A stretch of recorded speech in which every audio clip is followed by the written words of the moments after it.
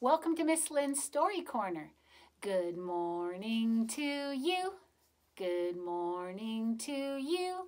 We're all in our places with bright smiling faces. And this is the way we start our new day. Lortek. All right, friends. Today I brought just a story for you, but it's one of my favorite for the pictures in the story. I love the way the colors look. I love the way the personalities are shown. Look at this. This is called The Story of Little Babaji, and it's written by Helen Bannerman. Get ready for some tigers. Ready? Okay. The Story of Little Babaji. Here's a circle of tigers holding their tails.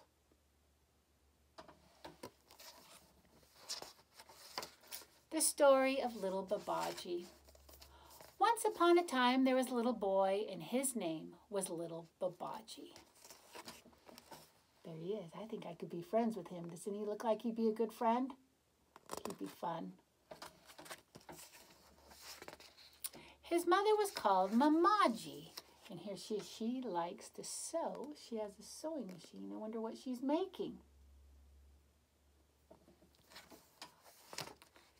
And his father was called Papaji. And Papaji likes to make things too. He makes pots.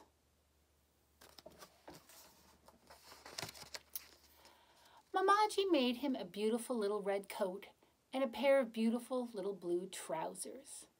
Now trousers are uh, kind of pants, another word for pants. And there is the red coat that mom made and the blue trousers on the chair and looks like Babaji's waiting by the door excited to wear the new clothes. And Papaji went to the bazaar, which is the, mm, the marketplace. Papaji went to the bazaar and bought him a beautiful green umbrella and a lovely little pair of purple shoes with crimson soles and crimson linings. Crimson is red, deep red. Red bottom shoe of the shoes and red inside the shoes. And there's Babaji, watching his father buy the new shoes while he holds the new green umbrella.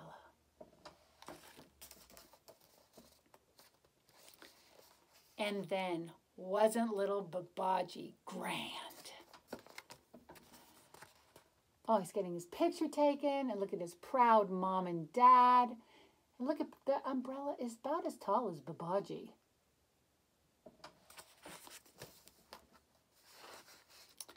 So he put on all his fine clothes and he went for a walk in the jungle.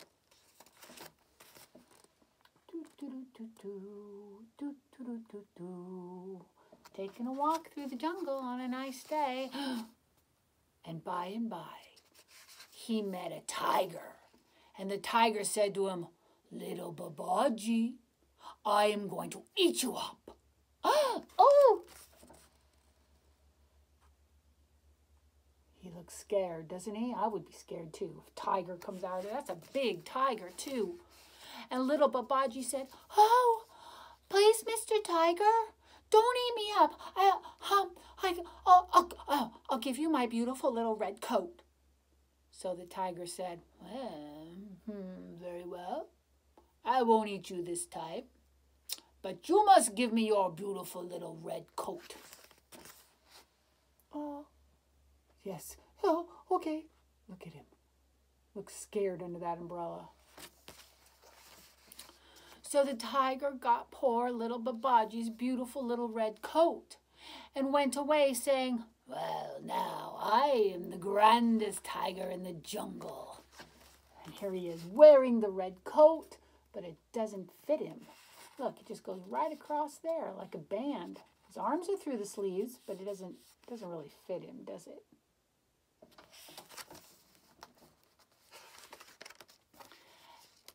Little Babaji went on, and by and by, he met another tiger, and it said to him, Little Babaji, I am going to eat you up. And little Babaji said, Oh, please, Mr. Tiger, don't eat me up. Um, I'll give you my, my beautiful little blue trousers. Oh. So the tiger said, Very well, I won't eat you this time, but you must give me your beautiful little blue trousers. Oh. If Babaji gives him the trousers, what will Babaji have on then? Huh?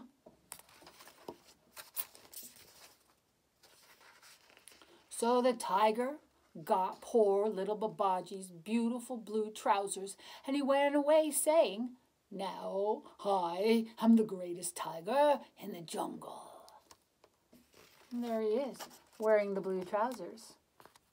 Hmm, do you think those trousers fit that tiger very well? No, I don't think so. They look a little tight. And little Babaji went on, and by and by he met another tiger. And it said to him, Little Babaji, I am going to eat you up. And little Babaji said, Oh, please, uh, oh, Mr. Tiger, don't eat me up. I'll give you my beautiful little purple shoes with crimson soles and crimson linings. But the tiger just said, huh, What use would those be to me? I've got four feet, and you've got only two. You haven't got enough shoes for me. There's Babaji hiding behind the green umbrella and sticking his foot out. Hmm. But little Babaji said, uh, mm, well, you could wear them on your ears. Huh, so I could, said the tiger. That's a very good idea. Give them to me, and I won't eat you. Not this time. Mm-hmm. Look at the shoes on Babaji's ears. And you can see he's only in his underpants now. So the tiger got poor little Babaji's beautiful little purple shoes with crimson soles and crimson linings, and he went away saying, Now I am the grandest tiger in the jungle. And there he is, wearing the shoes on his ears. I think they look pretty good. I like the curly parts.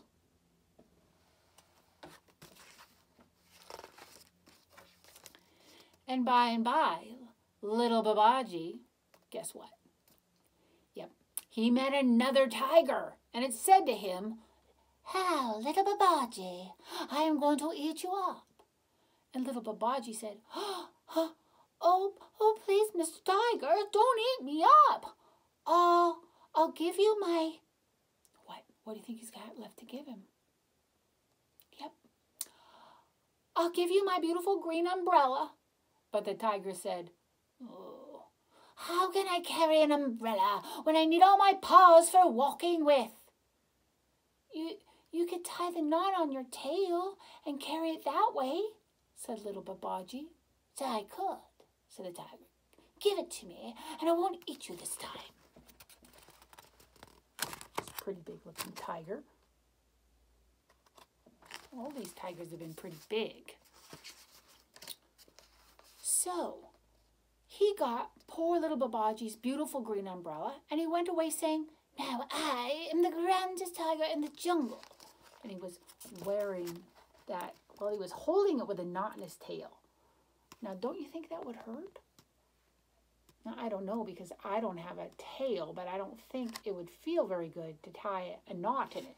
But he looks like he's pretty happy about it, actually. Hmm. And poor little Babaji, he went home crying because the cruel tigers had taken all his fine clothes. Here he is, walking home in his underwear. What is he going to say to his mother? She made those clothes for him. And then what about his father who bought those shoes for him and that umbrella?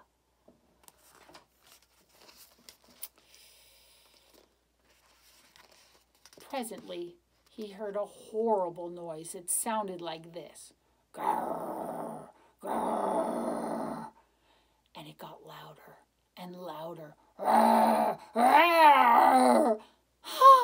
Oh said little Babaji.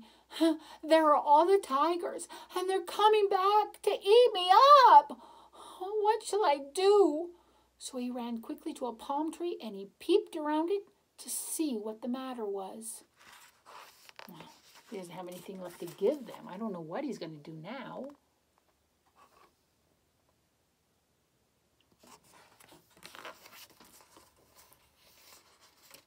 And there he saw all the tigers, and they were fighting. They were disputing which of them was the grandest. And at last they all got so angry that they jumped up and they took off all the fine clothes and they began to scratch at each other and tie, bite at each other and show their claws to each other and their great big white teeth. I'm the grandest, I'm the grandest, I'm the grandest. Well, and there they are. This picture shows how they are getting tough with each other. Who is the grandest? And look at little Babaji. He's behind the tree watching. Oh, how many tigers? One, two, three, four. Four tigers. Mm. They don't see Babaji. And they came rolling and tumbling right to the foot of the very tree where little Babaji was hiding. But Babaji jumped up quickly and he in and in behind the umbrella he grabbed that.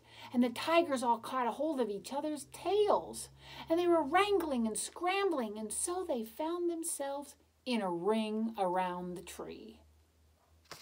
And you can see babaji sneaking away with the umbrella and the clothes and the tigers are grabbing each other by the tail they're not going to let each other go I got the tail. I'm not going to let you go either. Then, when the tigers were very far away, so they looked very, very small, little Babaji jumped up and called out, Oh, tigers, tigers, why have you taken off all your clothes? Don't you want them anymore? but the tigers only answered, Grr, gotta, gotta let go of the tail, gotta hold on to the tail.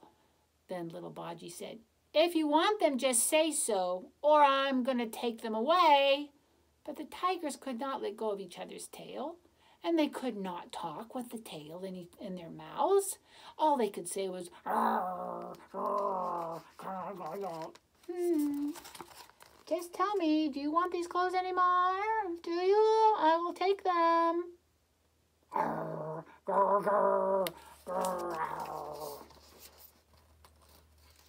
So little Babaji put on the fine clothes and again he walked off. Ta-da, he looks much happier. I am glad because his mother probably would want to know what happened and he'd have to explain oh, all about those tigers. He's going to have to tell her anyway. And the tigers were very, very angry. But still, they could not let go of each other's tails.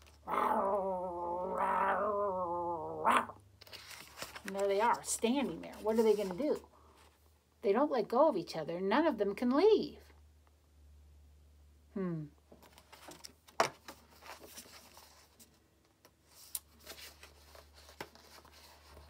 And they were so angry that they ran around the tree trying to eat each other up. And they ran faster and faster. They're moving, they're blurred.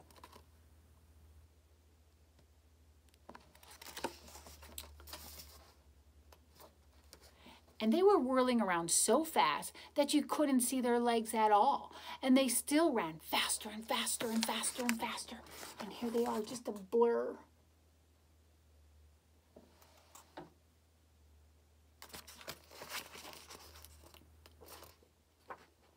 And they all just melted away. And there was nothing left but a great big pool of melted butter or ghee, as it's called in India, around the foot of the tree. Do you think tigers can really turn into butter? They can't, but remember this is a book. It's just, it's a pretend story. It's fun to pretend.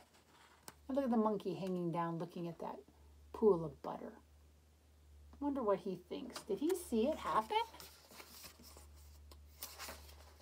Now, Papaji was just coming home from his work with a great big brass pot in his arms. And when he saw what was left of all the tigers, he said, Oh, oh, what lovely melted butter.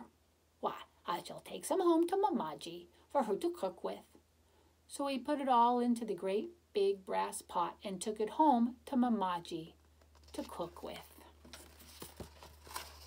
Oh, a puddle of beautiful butter. Kind of a funny place to find some butter. When Mamaji saw the melted butter, wasn't she pleased? Now, she said, we will have pancakes for supper. She does look happy. She looks like she's excited to make pancakes. So she got flour and eggs and milk and sugar and butter. And she made a huge big plate of the most lovely pancakes. And she fried them in the melted butter, which the tigers had made, and they were just as yellowy brown as little tigers. Mmm, yellowy brown pancakes. Yum.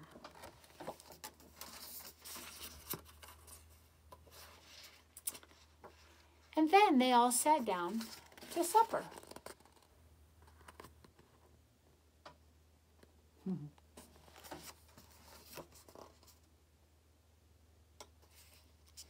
and Mamaji ate 27 pancakes and Papaji ate 55. I wonder how many Babaji ate.